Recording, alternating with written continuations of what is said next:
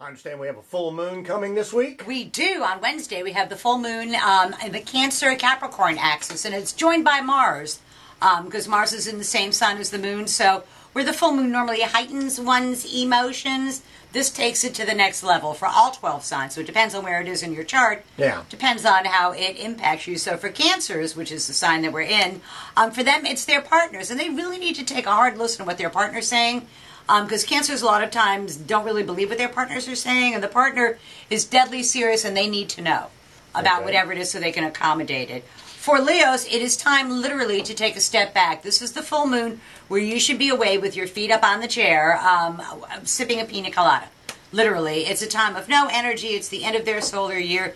They need to retreat and regroup. Is really what they need to do. Um, and I have vacation coming up after this week, so yes, I will. And you will thoroughly enjoy it. For Virgos, um, not so much a time to vacation, but a time to get their affairs in order, to get things straight, to to go ahead and to to put a plan in motion to take their creativity to reach a broader audience and a goal and objective for themselves. So, but it's up to the Virgo to be the self starter, and this is the impetus, the energy will be there for them to do that. For Libra, um, this is a time where they're they're torn between a home demand and a work demand. And ordinarily, I'm a big fan of saying, you know, take care of your job, but this time, Libra, you really need to take care of your home because um, there's something going on there that's not going to fix itself, and you need to give it some attention before it gets even worse. Um, for Scorpio, this moon is in their third house of day to day living in the ninth house of the law. There's some sort of procedural thing going on that's been messed up for a couple of months, and they get the opportunity at this full moon to put it all together and straighten it all out and get a definitive answer so they know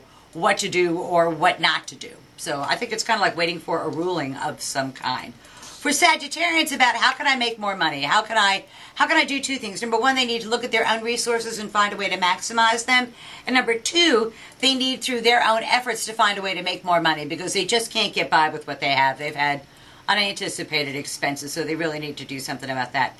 For Capricorns, this moon is in their sign, um, and they also are having partnership issues, and their partner might be screaming and yelling, and the best thing you can do is just put your hair back, assume the position, and let them vent, because there's nothing serious, it's just a matter of a lot of frustrations building up. Um, for Aquarians, they they really there is somebody that is trying to offer the Aquarian some very very good advice, and the Aquarian is resistant to it.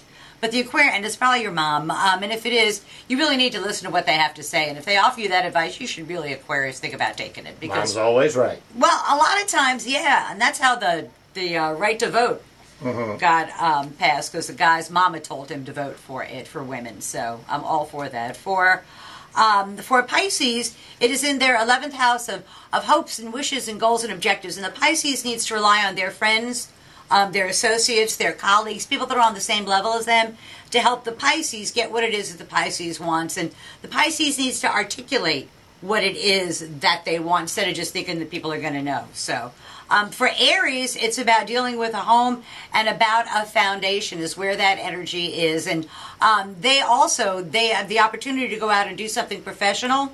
And if they could do it from their home, that would be even better. It's almost like find a way to work at home. And then for the uh, for Tauruses, the pace of their life is about to pick up. They had a little bit of a break, not much of one, but it's back to the short distance, short duration travel. Not a lot of time to do everything you need to do on your plate because their plate is filling up very very quickly. And then for Gemini, the last sign, it is really about um, a state of the finance check where the Gemini has to get a handle on their own spending on what they're what they're obligated to, what they're not obligated to, instead of just blanketly paying for everything. They need to go ahead and be a little bit more selective because they're realizing their finances, their resources are finite rather than infinite. So that's tomorrow's news today for the 12 signs of the zodiac.